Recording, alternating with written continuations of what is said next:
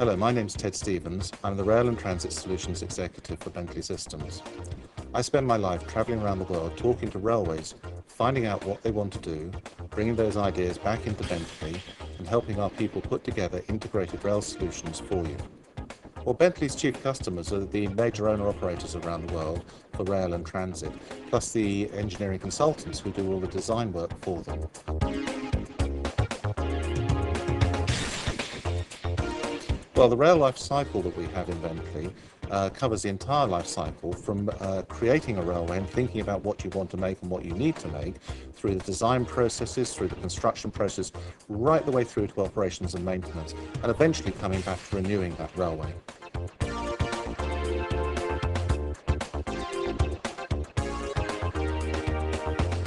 First step in any railway uh, uh, project is to look at the data assembly. It's bringing together information from all the various sources that we have, for example, from survey, from existing records, paper drawings, and from aerial photography, and assembling those into a form that is easy to use in the engineering process. And Bentley has a whole range of products and tools that do exactly that.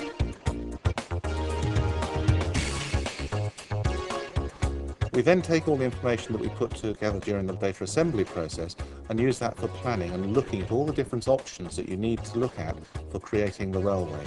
And this might be looking at land ownership, GIS type solutions, looking at the environmental impact of the, the railway and what that will mean in terms of noise propagations and things like that, looking at all of the other uh, population statistics for passenger ridership and things like that. So it's planning the railway and looking at it how it will functionally work and presenting that information to the public. Because most of the things that we, we do often require public funding, so we have to sell the idea to the public, perhaps making visualizations of our railway and showing those as TV commercials, that sort of thing.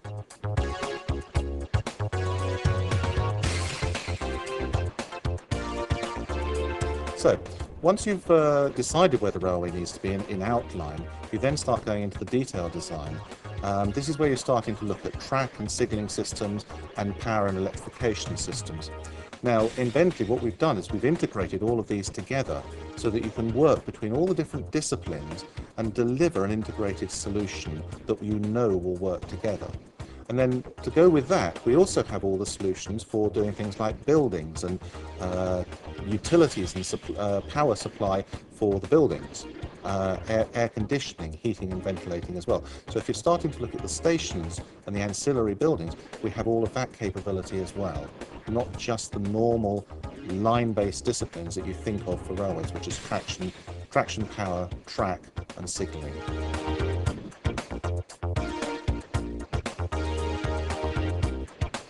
We built all this wonderful data during the design process. The next step, of course, is projecting that onto the construction site.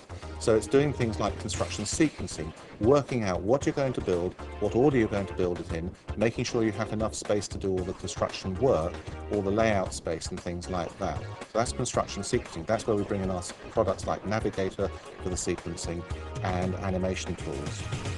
Taking that information, putting it onto site with the on-site products, gathering information about the as-built and then bringing that back into the design office to check that you have built what you were supposed to build.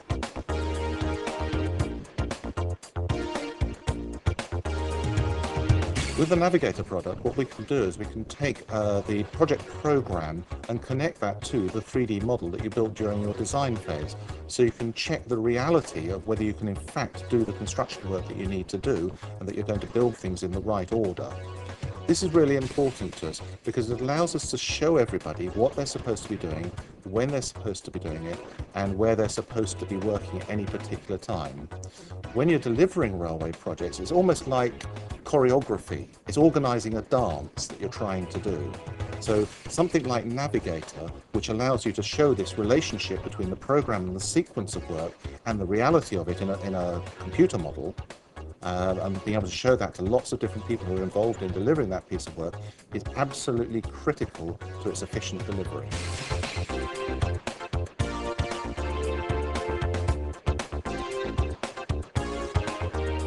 Once you've built the railway, or as you're building it, just as you're approaching uh, delivery of that railway, the next step is actually to teach the operational staff how to operate that railway in advance of your opening.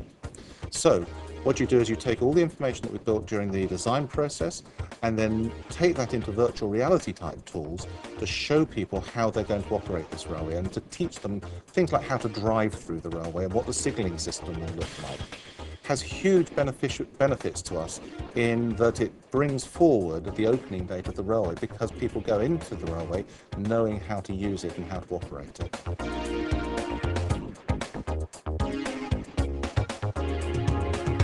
Key benefits in something like this is it means that the train drivers will start operating the railway with full, a much better, fuller working knowledge of how the thing works. So for example, they will know what the signal system does, what it's telling them to do. They will be much more familiar about the characteristics of the railway. For example, when they should be braking at stations and those sorts of things. And it means that they can come bring, you can bring forward the full operational capability of the railway much earlier uh, by doing something like this.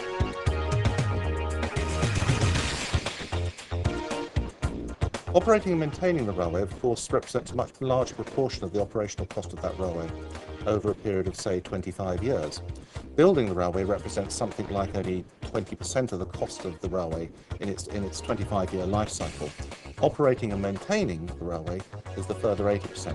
Now, what we've done in Bentley is chosen to focus on the track asset and how to operate and maintain that most efficiently because that is delivering or costing you something like 40% of the cost over that period.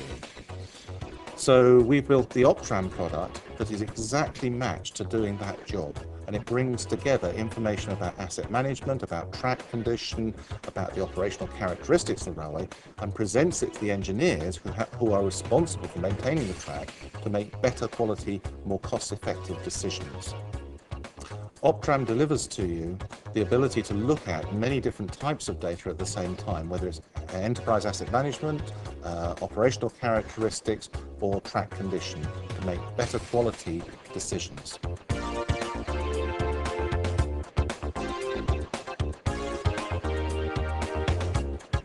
So, eventually you come back up around to renewing this railway after about 25 years.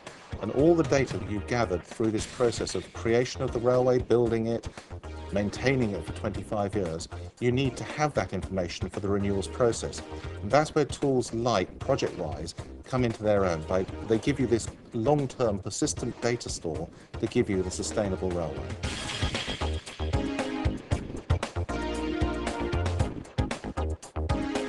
So why is Bentley unique? Well, Bentley is the only company that is capable of delivering an integrated solution across the whole life cycle of the railway, who have the requisite rail knowledge to deliver these solutions and to provide a sustainable solution for the long term.